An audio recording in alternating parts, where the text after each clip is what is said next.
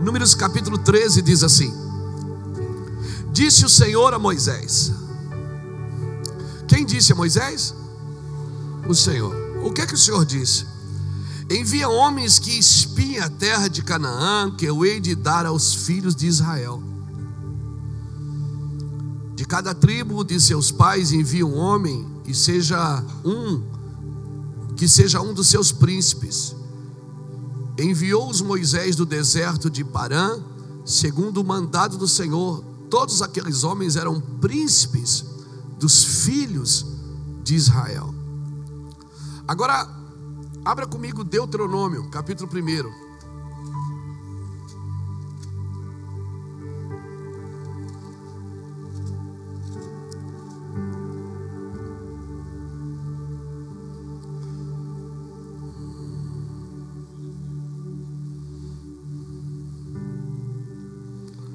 Versículo 21.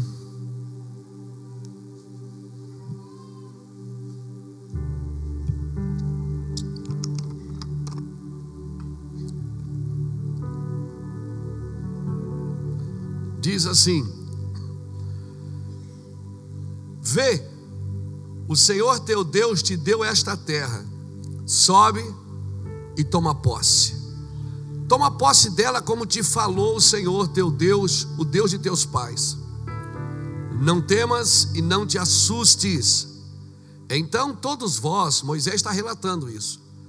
Então todos vós chegastes a mim e dissestes: Enviemos homem à nossa frente, para que espie a terra por nós e nos informem por qual caminho devemos subir a ela e que cidade devemos ir. Isto me pareceu bem, ou seja, isso foi uma boa ideia. E de modo que eu tomei dentre vós doze homens, um de cada tribo. E eles partiram, atravessaram a região montanhosa até o vale de Escol e espiaram a terra. Amém? Glória a Jesus. Estende a mão para cá, me abençoa. Receba essa palavra em nome de Jesus. Que a graça de Deus inunde as nossas vidas aqui hoje.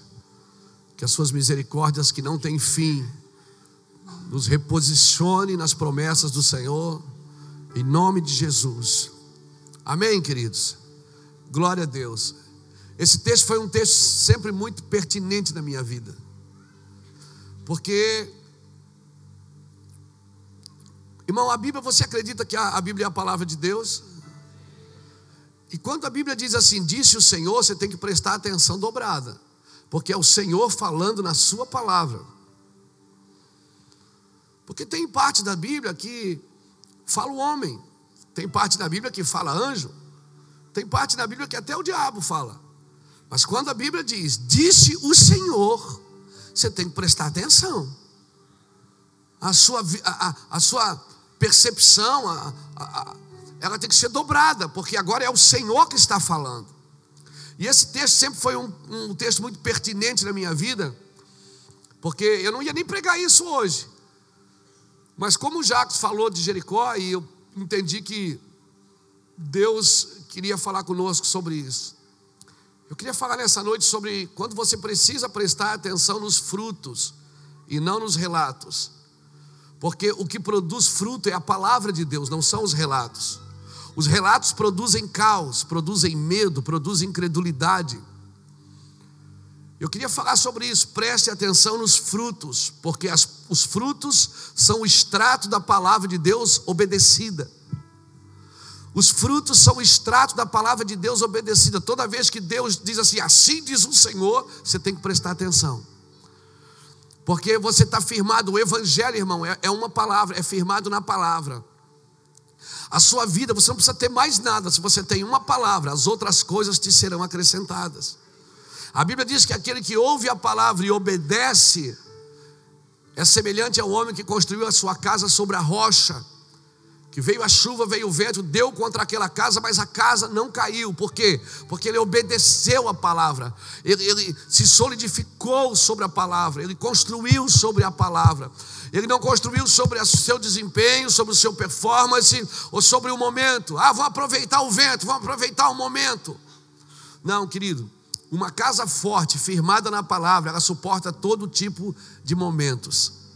Ela suporta o momento bom, o momento ruim. A Bíblia é clara quando ela diz em Eclesiastes capítulo 12: Lembra-te do teu Criador nos dias da tua mocidade, antes que venham os dias maus. Então diz assim para alguém que está do seu lado: os dias maus, eles sempre estão, eles sempre vêm. Dias maus, você não vai se livrar deles. Amém? Amém? Um dia a morte vai bater a sua casa. Um dia a necessidade vai bater a sua casa, um dia a dificuldade vai bater na sua casa, mas se você está firme na palavra de Deus, você entende que todas as coisas contribuem para o bem dos que amam a Deus e andam segundo a sua vontade. Amém? Segundo a sua palavra, porque a sua palavra é a sua vontade. A palavra de Deus é a vontade de Deus. Amém? Então, eu não deveria estar perguntando o que é que Deus quer de mim. Eu deveria estudar as escrituras, porque eu vou descobrir o que Deus quer de mim porque a palavra de Deus é a sua vontade. Amém? Ah, qual é a vontade de Deus para a minha vida? Às vezes as pessoas até pedem para a gente orar. Pastor, ora para Deus se revelar pra, na sua vontade, que eu quero fazer a vontade de Deus. Se você ler as Escrituras, você vai fazer a vontade de Deus, porque ali diz, elas falam do Senhor, elas dizem o que Deus quer. Amém? E às vezes nós estamos buscando coisas que Deus já disse para a gente. Às vezes só tem dificuldade de obedecer, mas a gente já sabe o que tem que fazer. Amém, queridos? Agora, uma coisa interessante aqui nesse texto é que você lê, lê Números, Números 13 diz assim: E disse o Senhor a Moisés: Envie espias que espiem a terra de Canaã, a qual eu dei aos filhos de Israel. Quando você lê esse texto, você fica pensando assim: ó, puxa, Deus chamou Moisés, você visualiza. Deus chamou Moisés e disse para Moisés assim: ó, ó, levanta 12 homens e envia espias para que eles espiem a terra e para ver se a terra, né? Dar os relatos para vocês. Aí Moisés fez o que Deus mandou. Só que lá em Deuteronômio, capítulo 1, versículo 21, Moisés parece que ele parece que ele está consertando números 13. Porque ele diz assim: Disse o Senhor, ele diz: Vê, o Senhor teu Deus te deu esta terra, sobe e toma posse dela. Sobe e toma posse dela, como te falou o Senhor teu Deus. Não temas e não te assustes. Aí no versículo 22 ele diz assim: Mas então vós todos chegastes a mim e me dissestes: Enviamos espias para que espie a terra de Canaã, que eu hei de dar aos filhos de Israel. Eu achei a ideia boa e enviei. Aí o que é que você fica pensando? Então, números 13 não foi Deus que falou com Moisés.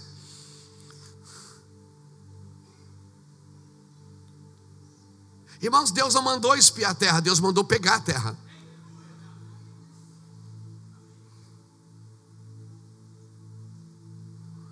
Deus mandou entrar e tomar a terra. Números 13, Moisés está dizendo: Disse o Senhor a Moisés: Envie espias que espiem a terra, que eu hei de dar aos filhos de Israel. Deuteronômio capítulo 1, versículo 21 e 22, Moisés diz: Faça como disse o Senhor, entra e toma posse da terra sem medo, não tenha medo. Mas vocês me rodearam e ficaram me dando ideia. Vai lá, vamos enviar gente para espiar a terra. Eu achei a ideia boa e enviei espias. Sabe que eu aprendo aqui? Que quando Deus fala uma coisa, você não ouve mais ninguém. Quando alguém vem se aconselhar comigo e diz, pastor, Deus falou comigo assim, assim, o que é que o senhor acha? Eu digo, eu não acho nada. Porque se a pessoa diz que Deus falou com ela, acabou. Acabou todos os meus argumentos. E às vezes, quando a gente quer muito uma coisa, a gente acha que foi Deus que falou. Às vezes não é Deus, é a sua alma que está falando.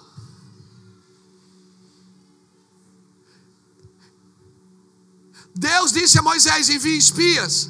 Moisés enviou. Lá na frente, Moisés está dizendo: Não foi Deus que mandou eu espiar a terra, foi vocês que me deram ideia. Deus mandou entrar e tomar posse dela. Então, se você tem uma palavra, então para de ficar procurando confirmação.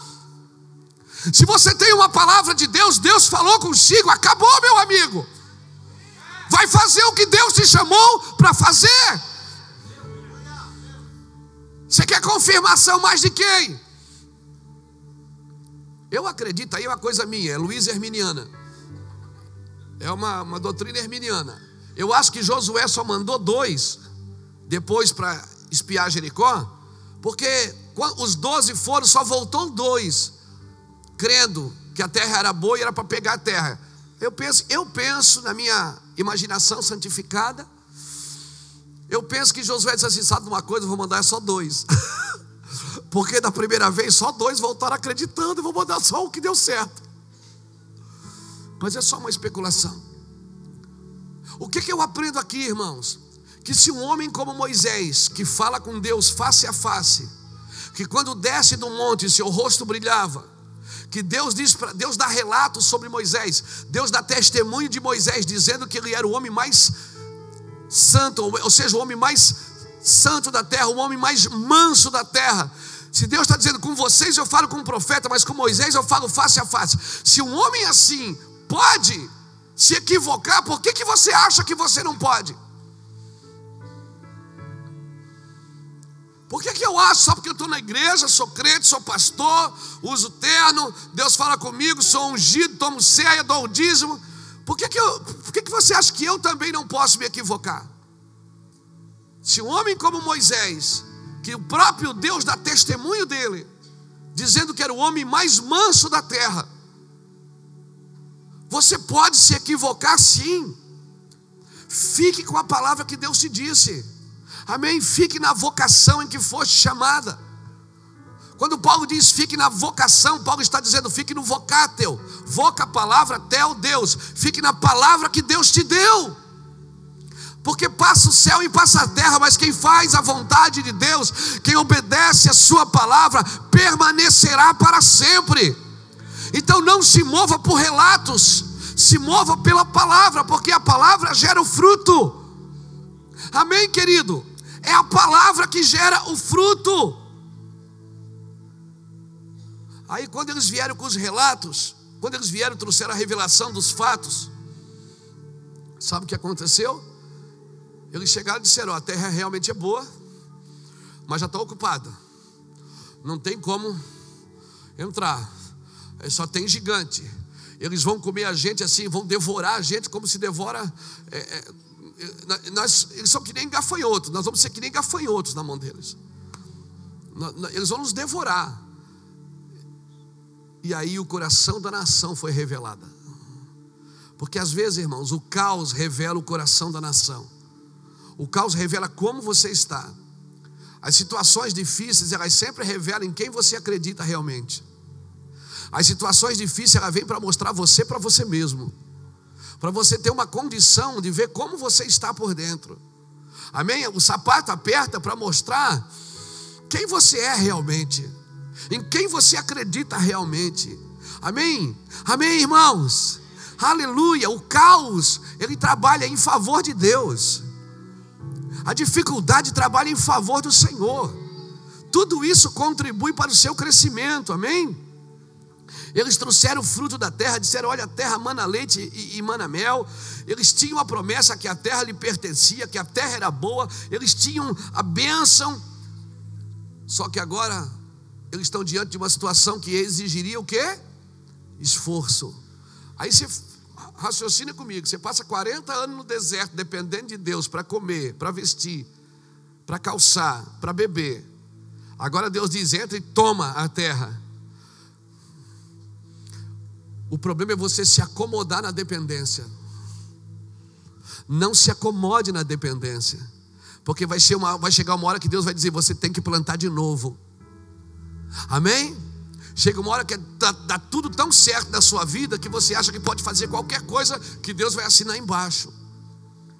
Irmãos, quando eles pararam, entraram na terra, que Deus disse: entra e toma posse, pega a terra, pega o que é seu Mas espera aí, mas tem gente na terra, manda embora. Mas tem que quebra tudo. Toma posse, destrói, derruba, pega.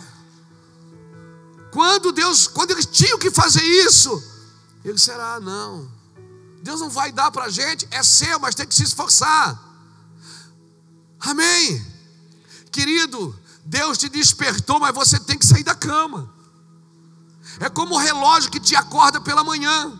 Ele desperta, mas ele não te tira da cama, ele só acorda você. Quem tem a atitude de sair da cama e começar o dia é você. É você que decide, Deus te desperta, a palavra te desperta, a adoração te desperta. A igreja existe para despertar, para nos reposicionar, mas Deus precisa do nosso esforço, porque a cruz de Cristo não anula a minha cruz. A obra do Senhor não anula a minha obra. Amém. Eu preciso tomar atitudes. Amém. As minhas atitudes, elas têm que. Eu, eu me movo pelo fruto, não pelos relatos. Eu não posso me mover pelo que eu estou vendo.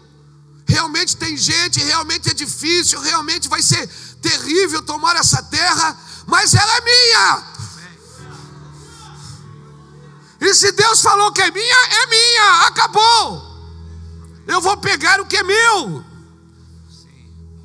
Irmão, quem está quem tá sempre esperando nunca está disposto a começar. Quem está sempre esperando algo nunca está disposto a começar algo. Está sempre esperando algo acontecer. Ele não trabalha para fazer acontecer. Cutuca alguém que está do seu lado, se ele, não, se, se, ele não der um sorriso, você chuta a cadeira dele. Você diz assim: ó, foque no fruto. Foque no fruto. Amém? Quando Deus te mostra o fruto, é para despertar que tem mais. Se dois homens precisavam carregar um cacho de uva, você imagina o tamanho da parreira.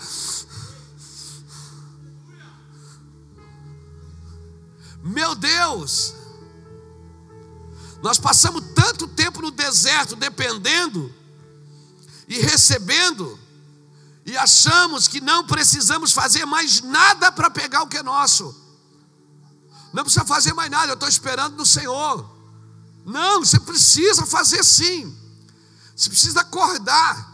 Você precisa despertar. Você precisa entrar em lugares que Deus te deu. É seu. Amém? Entra nesse lugar. Amém, irmãos? Abraão, quando chegou na terra, atravessou até Siquém. Logo em seguida, a Bíblia diz que houve fome sobre a terra.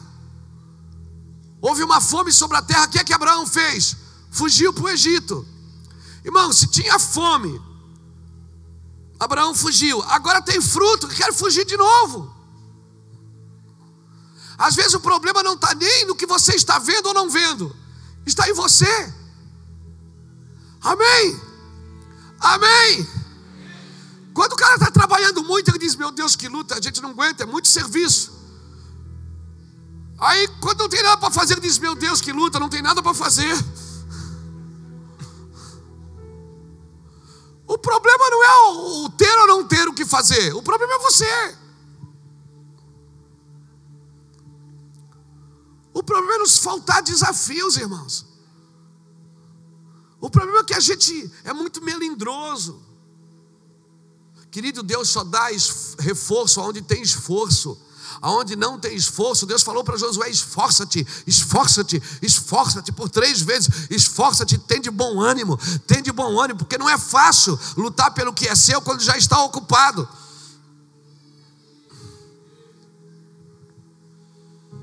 Não é fácil. E Deus fala para Josué: esforça-te, tem de bom ânimo, esforça-te. Eu vou te ajudar, eu te ajudarei, eu estou contigo. Irmão, se eu tenho uma palavra, acabou, eu não vou ficar esperando as coisas acontecer. Quando você acorda, tem gente que não é assim. Quando você acorda, tem dias que não dá nem vontade de sair da cama, é ou não é? É ou não é? Mas eu tenho que sair. Porque se eu ficar o primeiro dia que não deu vontade, eu vou ficar o segundo. E eu vou ficar o terceiro. E eu vou ficar o quarto. E eu vou ficar o quinto.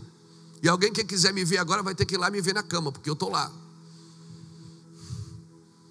Eu preciso desse esforço. Quem falou para você que a obra de Deus era fácil? Mentiu. Quem disse que Deus vai te dar vitória? Mentiu. Porque Deus já te deu vitória. O Espírito Santo que habita em vós é o mesmo que ressuscitou Jesus. E se ele ressuscitou Jesus, ele pode ressuscitar você também. Aleluia! Aleluia! A vida de Deus habita em você, querido. A vida de Deus habita em você para te botar para frente, para te jogar para cima. Olha, olha que eu nem sou um pregador motivacional, hein? Eu não sou pregador motivacional, porque para mim a vida de Deus já é motivada por Ele. A vida de Deus já é, é motivada, eu já acordo de manhã entusiasmado. Às vezes com dor, às vezes angustiado, às vezes dormir pouco, às vezes cheio de coisa para resolver, mas a mil. Quem acorda entusiasmado vai dormir satisfeito. Amém? Amém, irmãos? Louvado seja Deus. Por favor, não faça o lugar de oração um lugar de desespero, de medo, de incredulidade. Não faça do lugar secreto um lugar de fuga, um lugar de medo. A oração, ela tem que ser entusiasmada, ela tem que ser ela tem que ser fluente. Falar com Deus tem que ser bom. Amém. Glória a Jesus. Foque nos frutos cutuca aí e diz: foque nos frutos, não nos relatos. Por favor, não dê o mesmo valor aos relatos que você dá aos frutos. Se você começar a dar o mesmo valor aos relatos que você dá aos frutos, você vai criar opções. Você não tem mais opção, aleluia! Não tem. Se você começar a dar valor para o caos, como você dá para os frutos, você já não vai mais saber no que você acredita. Vai misturar tudo aí dentro da sua cabeça, vai misturar tudo dentro do seu coração, você já não vai mais ter foco. E perder o foco, meu irmão, já era. Perder o foco. Ou você acha que uma pessoa que acredita num pé de coelho, num trevo de quatro folhas, numa estátua, numa imagem, você acha que ela. Por que, ela faz isso? Porque ela quer acreditar em alguma coisa. Ela quer crer, ela crê. Ela só está desfocada, mas ela crê. Porque nós fomos chamados para crer. Nós fomos chamados para viver por fé. O ser humano foi chamado pela fé. Então, querido, é pastor, mas eu, eu, tô, eu, eu, eu assumo, eu assumo esse problema. Não assuma o problema, derrote-o. Porque o dia que você assumir, vai virar o seu problema de estimação. Derrote-o. Derrote esse problema. Pisa nele. Não assuma, ah, eu assumo que eu sou assim. Você não é assim. Deus não te fez assim. Deus não te fez assim. Efésios 1,4 diz que ele me elegeu antes da fundação do mundo, para que eu fosse santo, irrepreensível, diante dele em amor. Eu não sou isso que a minha alma está dizendo. Eu não sou esse doente emocional. Eu não sou, eu posso ter me tornado, mas eu não sou. Eu posso ter me tornado pelas quedas, eu posso ter me tornado pelas deficiências, pelas carências, pelas ofensas, pelas perdas, eu posso ter me tornado, mas eu não sou isso. Eu fui chamado para ser a imagem e a semelhança de Deus. Eu não sou esse homem, você não é esse homem.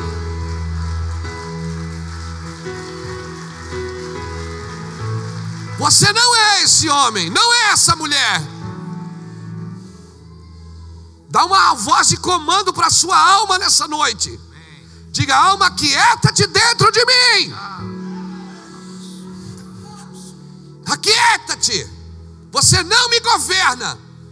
Não sou governado por sentimentos, por emoções, por aplausos ou por críticas, porque tudo isso está na alma, são registros da alma. Eu sou governado pelo Espírito. E o Espírito vai dizer para a alma: quieta-te dentro de mim. Cala a boca, alma, não fala não. Escuta aí o que Deus está falando. O que Deus fala, Ele fala no seu espírito. O espírito do homem é a lâmpada do Senhor. Ele enquadrinha o mais profundo do ser. Provérbios 27, 20 ou 20, 27. Está na Bíblia. O espírito do homem é a lâmpada do Senhor. Ele enquadrinha o mais íntimo do ser. Sabe o que Deus está dizendo? Quando eu falo no teu espírito, se você obedece, você vai governar o seu corpo e a sua alma. Aleluia. Ontem foi engraçado, ontem à noite nós estávamos conversando na casa do Éder, né? E foi legal, porque o Jacques disse, pastor, cara, nós chegamos de Israel, tu não parou ainda. Quinta, nós chegamos de Israel, você, você falou de noite aqui na reunião, o dia todo, né? Nós viemos para cá, você estava aqui também. Como é que se aguenta todo mundo falando? Eu digo, tem um botãozinho aqui dentro que eu desligo. E o pessoal fala comigo, eu falo, ah, legal. É. Quando alguém vem trazer problema, eu bato no peito, dou um pedala Robinho e sai daqui. Eu consigo me manter, mas você não está dando atenção, não. Eu dou atenção para os frutos, não para os relatos. Tem hora que eu tenho que desligar, irmão. Eu desligo, a pessoa fala, fala comigo, eu fico.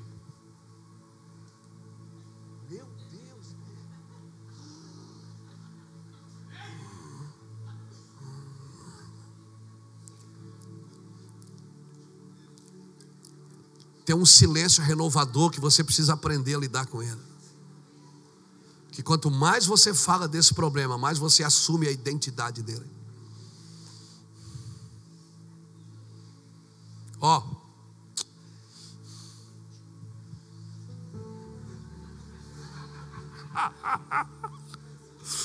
Não fala muito dos problemas, não. Quanto mais você fala, mais ele vai assumindo a sua identidade. Daqui a pouco você já não vai dizer mais que é um problema, você vai dizer o meu problema. Você já chama de meu aquilo que não foi Deus quem te deu. Você e ele se tornam uma só carne. Sim. Por favor, não fala disso. Traz à memória aquilo que dá esperança. Aleluia. Alguém está me entendendo aqui, gente?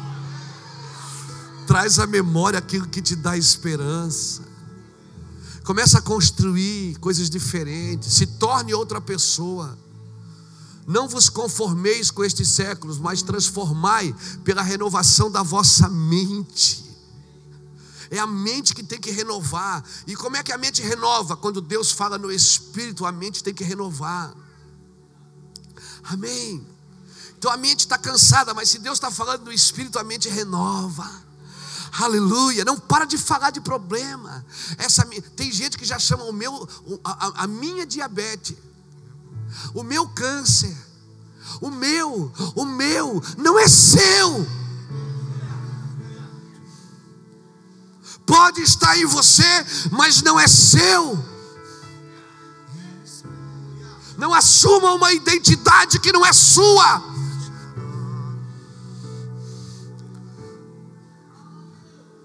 Você fica a vida inteira espiando a terra quando Deus disse: entra e pega.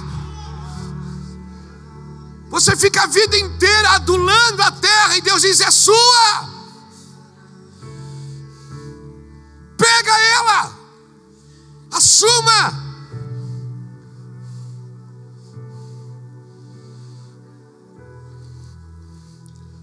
Qual é os dois, o nome dos dois homens que voltaram da terra acreditando nela?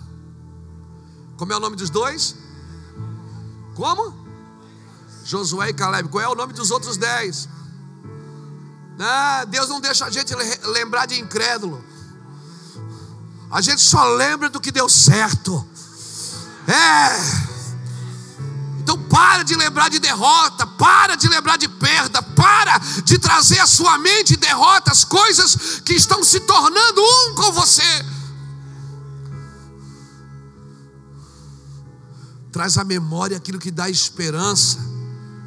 Assenta-te solitário, fica quieto. Não dê o mesmo valor aos relatos que você dá aos frutos. Derrote os problemas, não assume. Quando você luta por algo por muito tempo, isso se transforma em, em um com você. Isso começa a se tornar a sua identidade. Então o que é que eu faço? Faz o que a Bíblia manda: lançai sobre ele toda a vossa ansiedade, porque ele tem cuidado de vós. Lançai sobre ele todo o seu medo, toda a sua incredulidade, toda a sua falta. Lançai sobre ele tudo que não deu certo. Mas quando você, Deus, isso aqui não deu certo, Deus, eu estou triste, estou angustiado, mas eu sei que o meu redentor vive. Eu sei, eu sei, eu não estou sentindo porque o que sente é a alma, mas o espírito não sente, o espírito sabe. Alguém levanta a mão aí, dá um grito de vitória, meu irmão. Oh, sim, é isso. Não se trata de pensamento positivo. Não se trata de viver só no, no entusiasmo. Não. Se trata de viver sólido. O dia mal vai bater na sua porta a insegurança vai bater, a necessidade vai bater. Isso é vida, cara. Isso significa que você está vivo. Aleluia! Você está militando, porque coisa terrível é não ter por que militar. Coisa terrível você acordar e não ter uma coisa para militar, para se incomodar. Oh, coisa boa é o incômodo.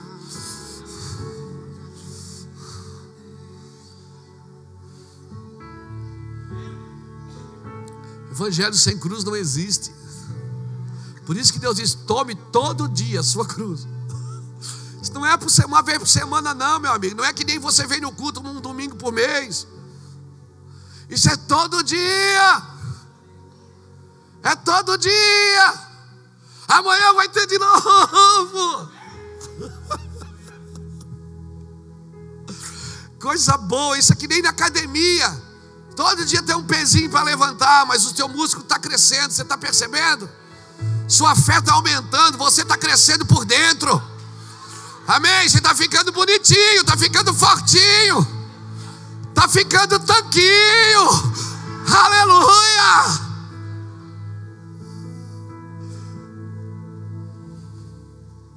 Todo dia, cara, você não percebe. Mas por que que dói? Porque você está mexendo em áreas do seu corpo, em músculos e nervos que você nunca mexeu. O cara vai botar um, um, peso na sua mão e vai dizer, faz assim. Aí você diz, não, pode botar mais, eu consigo. No outro dia você está com o braço dormente. Aí você passa o quê? Você passa na farmácia e toma um, um Tandrilax. Porque você quer se livrar da dor, mas você não percebe que foi essa dor, foi causada por um esforço que você fez que você nunca tinha feito antes. Então você está entrando, vira cristã é isso, cara. Você vai pisar em áreas que você nunca pisou antes, áreas vulneráveis, áreas de dificuldade, áreas com problemas, áreas desconhecidas para você. Ou nós, vamos querer, ou nós vamos ficar nessa vida chata evangélica? Ou você quer viver essa vida chata evangélica? Casa, igreja, igreja, trabalho, casa, trabalho, trabalho, igreja, igreja, casa. Você não quer um desafio? Você não quer ganhar uma alma para Jesus? Não quer ver ela chorar na sua frente? Não quer ver o demônio sair? Não quer ver coisas acontecerem? Não quer ver? Você ora por uma coisa e quando você acontece, tem gente que ora por um milagre e quando acontece ele diz: Ai meu Deus, não acredito. Mas ele orou para acontecer, cara. Ele disse que não acredita, Rabino. Olha isso cara ora pelo milagre. Aí, ah, sabe aquela pessoa que recebeu o milagre? Semana seguinte ela veio, pastor. Sabe que o senhor orou por mim, eu estava doente? Lembro, eu fiquei curado. Não acredito, ficou. Nem ela acredita na oração deles. Coisa terrível é um pregador incrédulo, irmão. Coisa terrível é um crente incrédulo. Porque pelo menos o incrédulo nunca ouviu falar de Jesus, nunca leu as Escrituras, nunca jejuou, nunca foi numa igreja, nunca foi tocado por um louvor. Então ele tem razão de ser incrédulo, mas você não tem, não, querido. Por isso que aquele que é muito dado, muito é exigido. Deus quer o esforço de você, igreja brasileira. A igreja brasileira precisa entrar num lugar de esforço nesses dias, nos próximos meses, nos próximos anos. Amém. Você não tem o direito de não ser esforçado. Se esforça, irmão. Esforça-te, eu te ajudarei, diz o Senhor. Eu te ajudo, eu ajudo você no esforço. Eu ajudo você quando você acredita. A fé é a firme certeza das coisas que se esperam. É a convicção que está no Espírito. Amém, irmão? Quando você luta muito tempo com uma coisa, você perde a ambição de vencer aquilo. Quando você luta muito tempo e você vai perdendo a ambição, a ambição, ambição é a ambição de derrotar, essa coisa diminui. E aí você esquece que aquele problema existe. E aí vem a outra fase. A primeira fase qual é? Você perde a ambição de derrotar. A segunda fase, você esquece que o problema existe. A terceira fase, você se acostuma com ele. E a quarta, isso se torna uma armadilha na sua vida. Porque essa coisinha pequenininha aí, que você tornou ela grande, qualquer coisa pequena na sua vida vai ser muito grande. Qualquer coisa pequena vai ser muito grande. Que não seja assim. Bate na cadeira de quem está do seu lado e diz que não seja assim com você. Não tenha medo. Vai lá que Deus vai dar vitória. Amém. Não tenha medo. Vai lá que Deus vai pegar você e dizer assim: é nós. Amém? Derrote logo isso. Diga para a pessoa: derrota logo isso. Acaba com isso logo. Diga assim: assuma a sua herança, não o seu problema. Diga, assuma a sua herança, não o problema. Diga para quem está do seu lado: assuma a herança. Quero trazer à memória aquilo que me dá esperança. Quero trazer à memória aquilo que me dá esperança. Como é bom poder pertencer É, ao meu Deus de amor. Como é bom poder confiar em tua fidelidade. Eu descanso em ti. Sim, Senhor. Eu espero. Nós cremos em ti, Senhor. Tu és o nosso Deus. Só estamos aqui pela fé, Senhor. É a fé. É a fé. O justo vive pela fé. Uh! Eu espero em ti. Sim, Senhor. Eu te adoro,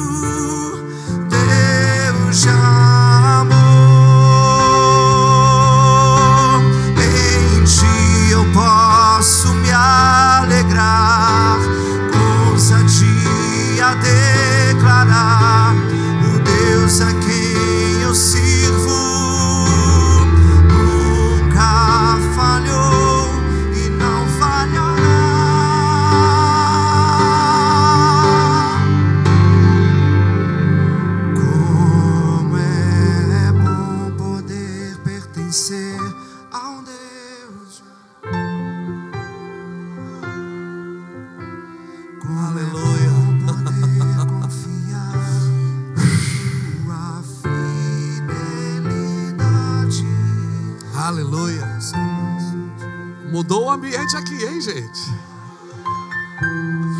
Eu sinto que Deus pegou você aí.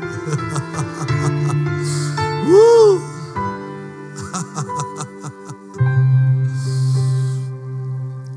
Quando Deus nos mostra os frutos, é para deixar claro uma coisa: eu estou mostrando para você a realidade do reino, não a realidade da terra. Então não se mova pela, pela realidade da terra, se mova pela realidade do reino. Quando Deus está mostrando o fruto, Ele não está, Ele está dizendo assim: essa é a minha realidade para você. A sua realidade não é, o que, não é o que a terra está mostrando, é o que eu estou mostrando. A sua realidade é a visão que eu coloquei, engendrei no seu espírito. Não é o que seus olhos enxergam. Essa não é a sua realidade. Deus está dizendo assim: ó, você pode. Você pode ter esse fruto sempre que quiser. Você não precisa só ver, você pode entrar e tomar ele, é seu. É seu. Eu estava em Israel, irmãos, agora nós estávamos lá. Eu andava naquela terra. É a terceira vez que eu vou.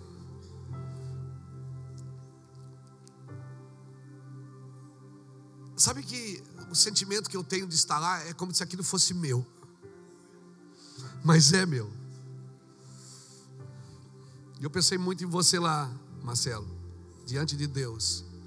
Eu não sei como, eu não sei como será, mas Deus me falou que eu preciso contribuir para que você vá lá. Eu não sei quando. Mas eu ando naquela terra, irmãos, é uma terra de tanto conflito, tantos conflitos. Mas eu sinto, eu sinto um sentimento de posse que aquilo é meu, André. Sabe, eu ando naquela cidade, eu disse, isso é meu. Isso aqui é meu. Porque eu sou descendente de Abraão pela fé em Jesus Cristo. Essa terra que Deus disse para Abraão, entra e pega a terra. A terra que e em ti serão benditas todas as famílias. Diga, minha também é bendita. Essa é a palavra que eu creio. Se Deus falou que a minha família é bendita por causa de Abraão, então eu sou bendito por causa de Abraão. Eu não sou maldito. Então não importa se meu pai pecou, se meu avô pecou, se meus bisavós pecaram, não importa quem traiu, quem enganou, não importa quem matou, importa que a palavra que ecoa há milhares de anos é em ti, Abraão, serão benditas todas as famílias da terra.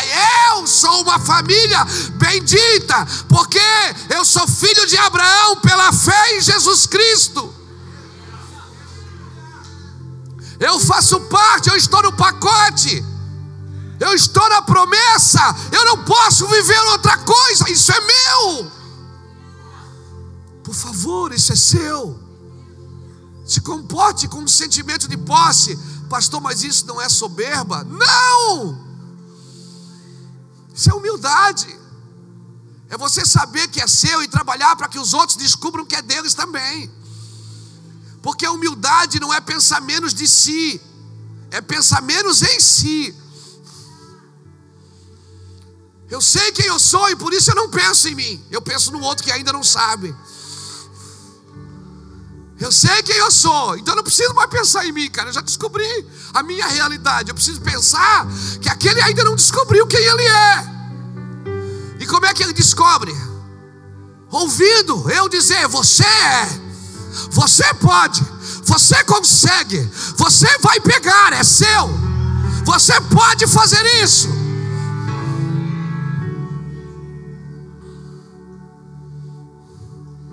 Esse é o meu trabalho. É isso é o trabalho dos pais. É dizer para o filho: você consegue.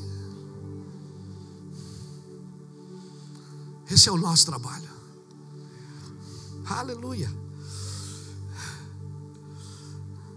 Deus está dizendo: você pode ter esse fruto sempre que você quiser, Fernando. É seu. Amém? É seu. Amém? Amém? Olha aqui para mim. Você que está preocupado com seus filhos. Que meu filho, pastor, está em idade terrível. Começa a declarar sobre ele. E ele vai se tornar o que você disser a ele. Porque a palavra, ela constrói ou destrói. Do fruto da boca do homem farta-se o seu ventre, da colheita dos seus lábios ele se, ele se satisfaz. A morte e a vida, Provérbios diz que estão no poder da língua. Começa a declarar. Diga viva, diga para a morte viva, diga para a doença cure, diga para a necessidade prosperidade. Constrói. Constrói.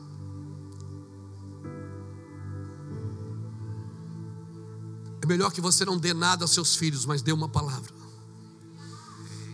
Libera sobre eles. Por que, que a Bíblia fala sempre da bênção dos pais? Porque quando os pais estavam morrendo, Abraão, Isaac, Jacó e tantos, chamavam os filhos para abençoar. Eu sou da época que a gente beijava a mão, bença mãe, bença pai.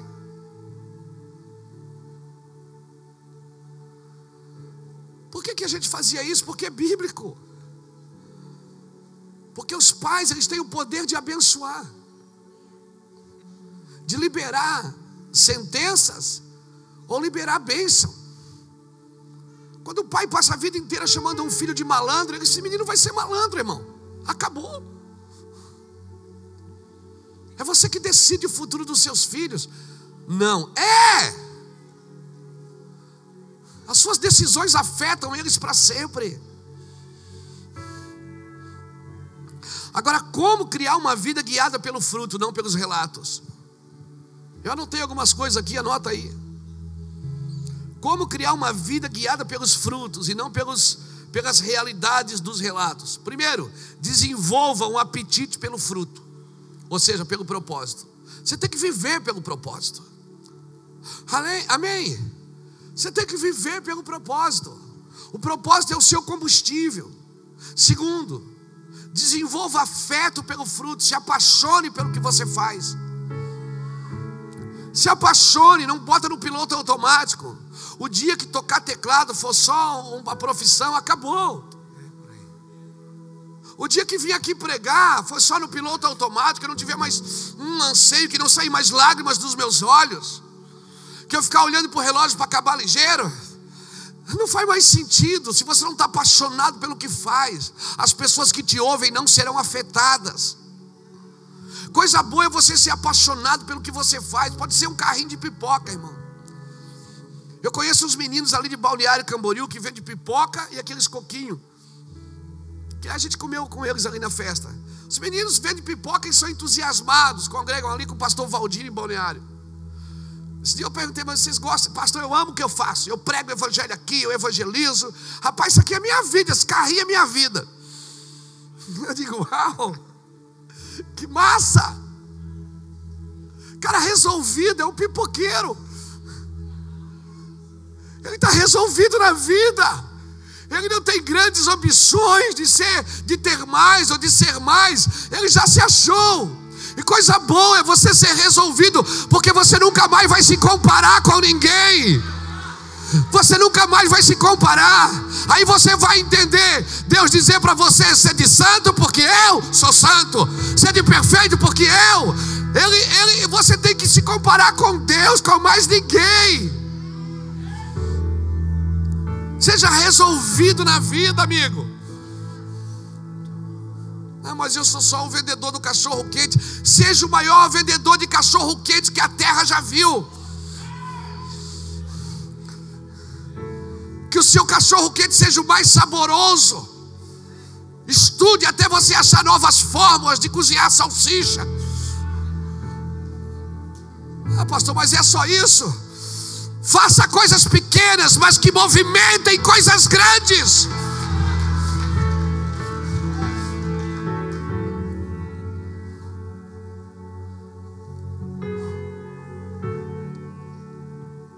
Você faça coisas pequenas, mas que dentro de você isso movimente coisas grandes. Chega de correr atrás de coisas grandes. Corra atrás de Deus e as outras coisas te serão acrescentadas, querido. Seja resolvido. Diga para a pessoa que está dizendo, você é resolvido? Então sorri aí. É, mas vai lá que Deus vai dar vitória. Aleluia.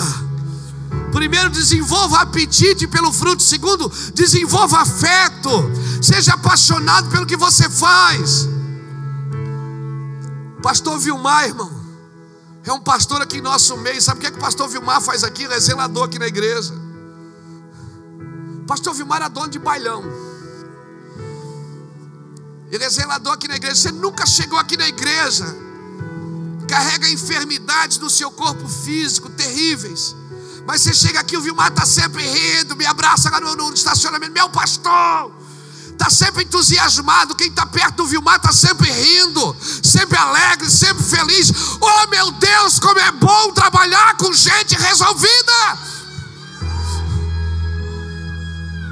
Eu não estou dizendo que o dia triste não existe. Eu não estou dizendo que você não pode chorar, se amargurar, que você não pode se angustiar. Eu estou dizendo que em todas essas coisas Deus vai te fazer mais do que vencedor em Cristo Jesus. Alguém dá glória a Deus aí. Bom. Aleluia. Todo tempo és Glória a bom. Justiça está Amor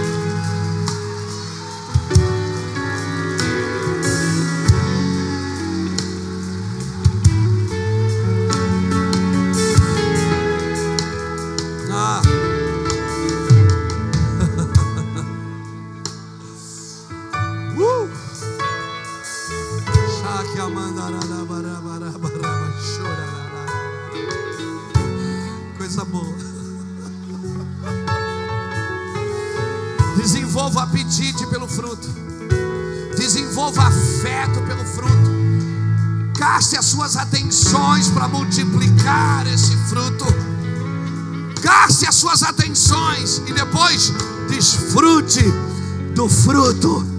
Desfrute do fruto. Amém? Porque o fruto veio para você saber que tem mais.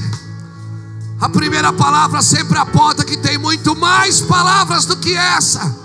A primeira palavra diz: tem muito mais. Sai do seu lugar correndo, vem para cá, eu vou terminar. Não adianta pregar mais.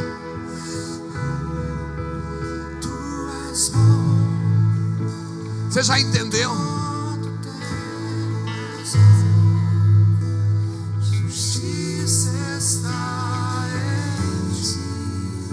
Seja alguém apaixonado pelos frutos.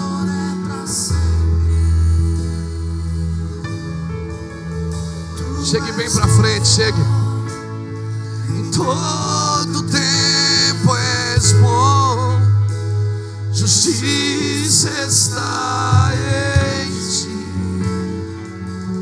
Teu amor é para sempre.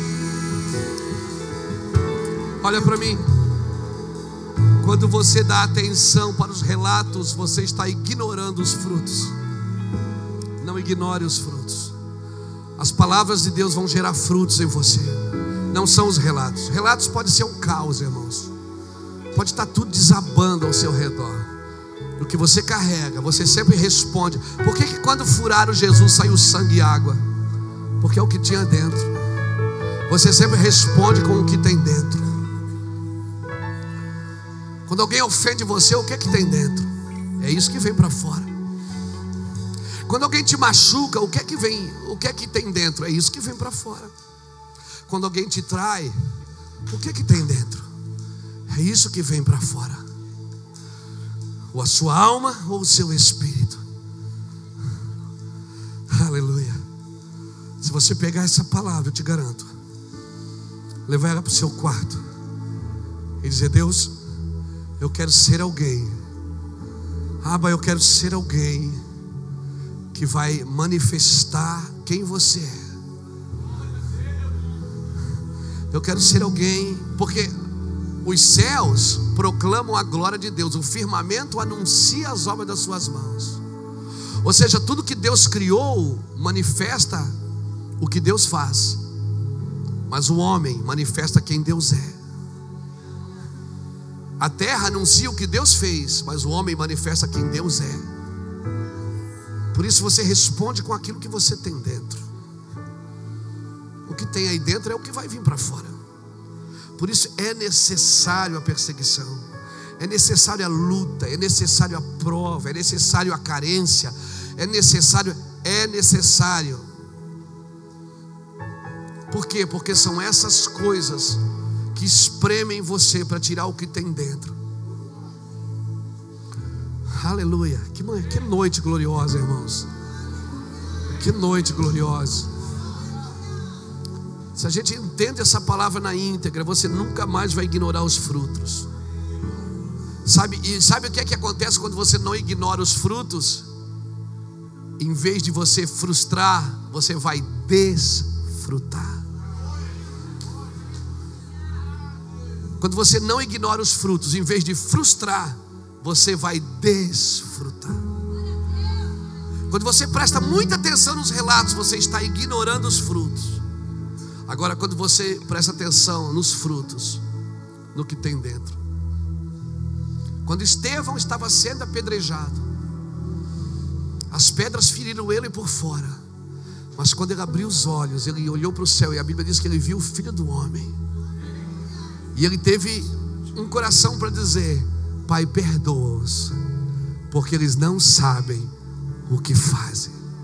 Ou seja, as coisas de fora, elas não vão roubar você aí dentro. Me faltou tempo, porque eu não, eu não vou pregar, eh, não vou parar isso que está acontecendo aqui. Mas quando o Senhor diz para a gente permanecer aquele que permanece na minha palavra, esse sim dá muito, esse sim dá muito fruto. Quando o Senhor diz para você permanecer na palavra, ele diz que dá muito fruto. Quando ele diz assim, acho que é Lucas 24, 49, se eu não me engano, ele diz assim: ó, ficai na cidade até que sejam revestidos de poder. O que é, o que é revestir? Revestir, assim como você passa a cera no carro, como você passa esmalte na unha, quando você passa no piso, batume no barco. Revestir significa para que o que tem fora não penetre no que tem dentro. Quando você é revestido de poder, o que tem fora já, Gladys, não interfere no que tem dentro. Agora, o que tem dentro, porque o revestimento impede do que tem fora entrar, mas não impede do que tem dentro sair.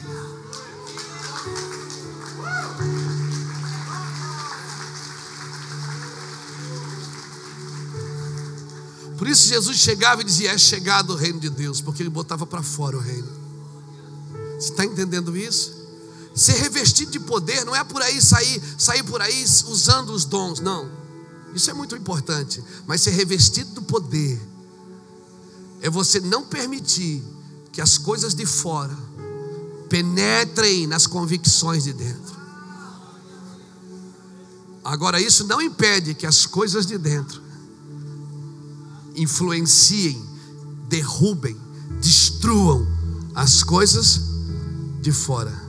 Você lembra quando Deus falou para Ezequiel, pegou ele pela mão, levou ele aonde? No meio de um um vale do quê? E os ossos eram sequíssimos. Deus levou ele para ver o caos. E disse: O que, é que você acha? Poderão viver esses ossos? Ele disse: Senhor que sabe. Deus disse: Não, você que sabe. Porque o que você tem aí dentro pode fazer esses ossos viverem. Então o que, é que eu faço? Abra a boca e fala com eles. Libera sobre eles o que você quer que aconteça. Aleluia. E a Bíblia diz que ele disse ossos. Ele profetizou aos ossos, aos nervos, à carne, à pele e ao espírito. E aqueles ossos se tornaram um grande, um grande exército.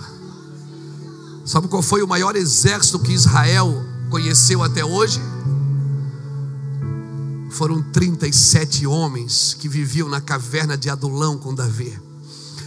Homens endividados, homens problemáticos, homens ruins, homens maus. Mas a Bíblia diz que foi o maior exército. Homens que lutavam até a espada grudar na mão. Homens que acertavam um fio de cabelo com uma flecha. Homens que matavam mil homens com uma lança. Sim, homens que quando o rei suspirava, ah, quem me dera tomar uma aguinha. E ele saiu correndo para ir buscar. Porque Davi nunca olhou para eles como bandidos. Davi nunca olhou para eles como homens endividados. Davi nunca olhou para eles como homens problemáticos. Davi viu neles um homem, um exército. Amém. Amém. Amém. Você pode ter perdido a sua voz, de não falar mais, mas o que tem aí dentro ainda pode vir para fora. Amém. Você crê nisso? Sim. Porque era assim que Deus vê o homem. Deus olha para um homem covarde e diz: Ei, homem valente, eu sou contigo. E aí ele olha e diz: Que eu? O Senhor diz: É, você. Você está aí se esforçando para esconder o trigo. Ai, como, Deus, quando alguém está se esforçando, Deus vem e o abençoa. Deus levanta um menino para reinar. E diz para o profeta: não olhe segundo a aparência, não olhe para o que está fora, vê o que está dentro. Não julgue as pessoas pelo que elas estão vivendo fora. Não julgue as pessoas por um problema, por um pecado, por uma dificuldade. Não julgue as pessoas, porque o que tem dentro pode vir para fora e transforma ela no seu líder. Aquele menino que foi preso injustamente, agora é governador do Egito. Eu fico imaginando a cara de Potifar quando viu ele passar em cima da carruagem de Faraó. Meu Deus, o menino que eu botei na cadeia vai me matar agora. Não, Potifar, relaxa, porque eu não vejo você como você me vê. Você me vê como um adúltero, como um traidor, mas eu vejo você como um bom homem, porque eu vejo sempre com o que está dentro, não com o que está fora. Jesus não vê a sua alma, não vê a sua carne, ele vê o seu espírito, porque o espírito do homem é a lâmpada do Senhor. Alguém levanta as mãos para o céu e aplauda ao Senhor bem forte. Sim! Sim, Senhor! Aleluia!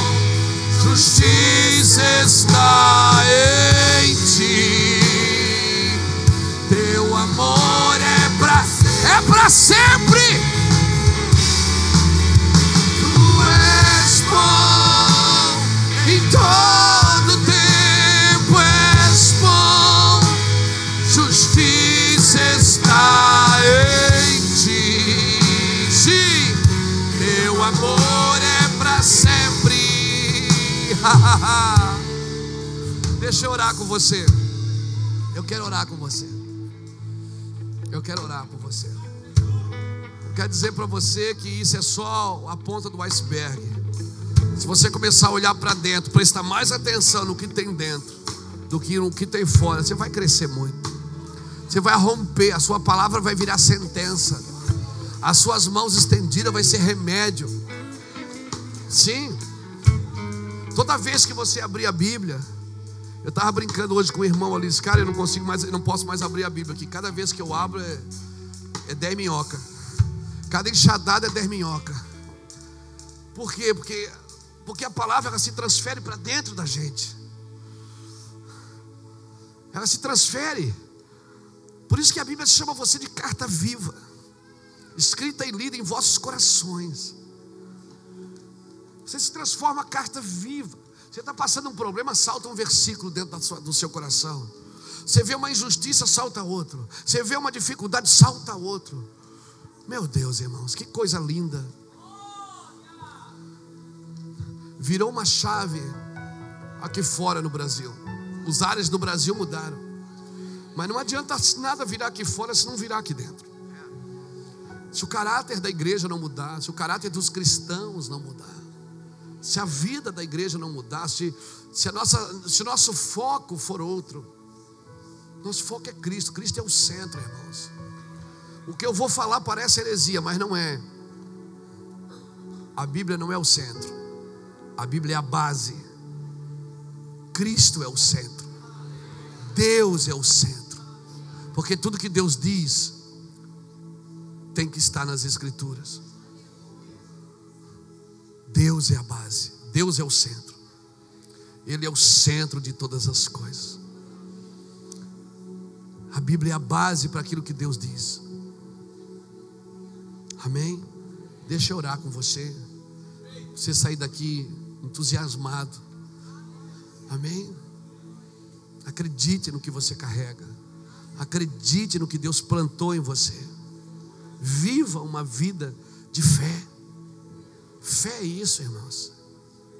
É você acreditar que você está acima das evidências, das circunstâncias, dos relatos. Pai, em nome de Jesus, eu oro por essa geração, que sejamos uma geração de fé, Senhor uma geração que seja afetada pela glória de Deus. Como diz a Cristina, que seja infectada. Infectada pela glória de Deus. Que esse vírus chamado fé infecte a gente, Senhor. Que a gente seja homens e mulheres de fé, cheios do Espírito Santo. Que não é a falta do dinheiro, a falta do emprego, às vezes a falta da saúde, às vezes a falta Senhor Deus, de um amigo, às vezes a falta de alguém venha nos fazer falta. Porque o Senhor é o nosso centro, o Senhor é o nosso é o nosso tudo. Tu és o meu tudo. Em ti, Senhor, não há sombra de variações, meu Pai. O Senhor é a nossa vida. Eu declaro sobre esses homens, sobre essas mulheres, Senhor, eles vão sair daqui hoje marchando como soldados de um exército eles vão sair daqui hoje, Senhor, marchando como um soldado. Sim, Senhor, entusiasmados. Sim, Senhor. Eu, eu declaro homens e mulheres que vão acertar no alvo, Senhor. Pessoas que vão falar e as suas palavras vão criar vida na vida dos outros, Pai. Quando eles estenderem a mão, será remédio nas nações. O seu dinheiro vai multiplicar, Senhor. A sua fé vai multiplicar. Sim, Senhor. As lágrimas que eles vão chorar, vão chorar pelos outros. Eles vão chorar por causa dos outros, não por causa deles, porque eles vão estar encharcados de alegria e de felicidade, Pai. Eu declaro homens e mulheres felizes nas trincheiras do Senhor, homens e mulheres resolvidos nas trincheiras do Senhor, homens que não estão na igreja fazendo campanhas para ganhar alguma coisa, porque eles já sabem o que têm, já sabem o que carregam, já sabem quem são, Senhor. Nós declaramos isso sobre essa geração, meu Pai, em nome de Jesus. Dá um amém mais forte que você já deu na sua vida. Amém. Amém, irmão. Glória a Jesus. Aplauda o Senhor.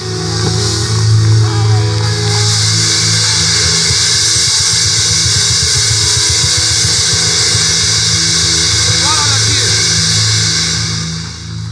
Tá vendo aquela câmera do meio ali? Tá vendo ela? Essa câmera de televisão aqui? Aponta tua mão para lá assim. Você que está em casa, você que está na internet nos assistindo, nós declaramos sobre você, Deus te pegou aí na poltrona, na cadeira, te pegou aí deitado nessa cama. Eu declaro fé, uma vida de fé sobre a sua vida. Isso, mostra esse povo orando por vocês. Nós declaramos em nome do Senhor Jesus Cristo. Você que está em casa, você que está pela internet, em outra nação, em outro estado, em outra cidade, eu quero dizer, esse vale de ossos secos na sua vida vai começar a se transformar em um grande manancial de vida. Nós declaramos sobre você agora, amigo, em nome de Jesus, seja cheio da glória. Aleluia! Deus abençoe. Foi um prazer servi-los na mesa do Senhor.